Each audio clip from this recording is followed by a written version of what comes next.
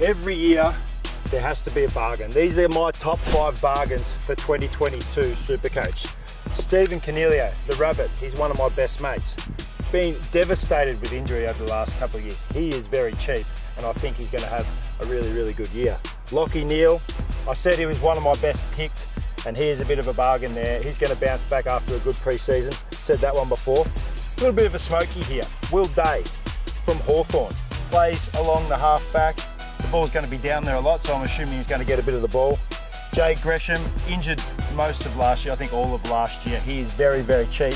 The year before, he was outstanding in Supercoach. And this is my best. Lachie Weller from the Gold Coast Suns. He's about 400k. He is a very, very good runner.